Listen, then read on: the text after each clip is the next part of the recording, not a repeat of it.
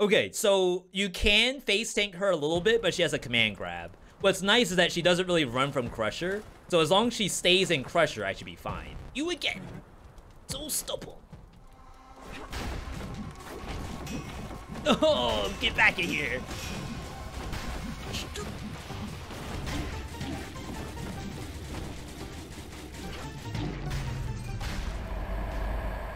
She grabbed my Bible and threw it back at me.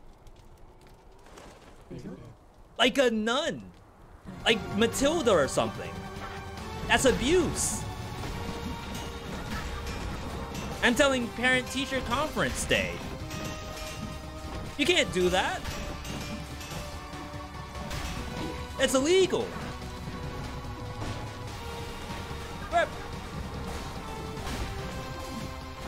Worth. Couple hits. My Bibles! No, she actually makes them spin around her? That's nuts. What am I supposed to do now? I can't go in there.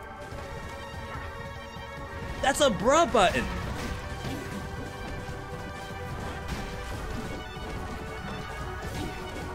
Gonna say that was distinct? Okay. Not gonna lie. That's sick. Sick ill and sick nasty at the same time. I never would have thought that's what happens. Battle Dev. If Battle Dev came up with that, hear me out, hear me out. What if she takes them and it spins around her? That's what's up. Give that person a raise. Matter of fact, where's my wallet?